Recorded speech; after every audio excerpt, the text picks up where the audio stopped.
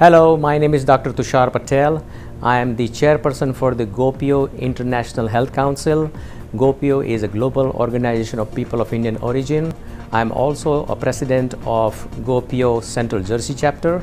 I would like to invite Indian diaspora to come and attend the third GOPIO Health Summit, which will be held on Saturday, October 12, 2019 from 9 a.m. to 4 p.m. at TV Asia Auditorium in Edison, New Jersey. Uh, GOPIO has been doing these uh, uh, community activities for many years.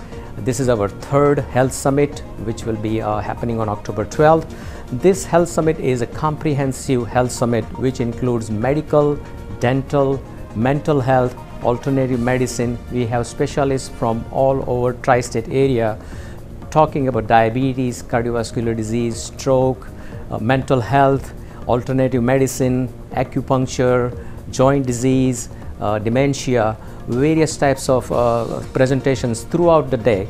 And uh, I would like to invite everyone to come join the event as we are trying to promote healthy living style, try to reduce complication from chronic disease, where Indian diaspora can uh, get some education uh, on, on various subjects, which is free of charge to all at TV Asia. And uh, the breakfast will be provided in the morning, lunch will be provided.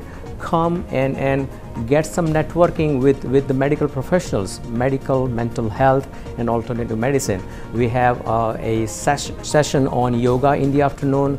We have a acupuncturist will be there.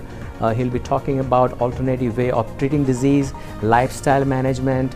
Uh, some mental health experts will talking about the uh, dementia, uh, depression, suicide in our community, drug uh, disorders, and, and many, many other topics we will be discussing that day. So in this 21st century, in the fast living we have, uh, the physicians don't have a time too much time to spend with the patients. So we are trying to do this at a bigger and better level where everyone can benefit from not only from the physicians but from the other professional pharmacists and the physical therapist and, and, and alternative medicine where we can give the education, counseling and, and tools to our Indian diaspora where they can take the tool and live the healthy living lifestyle.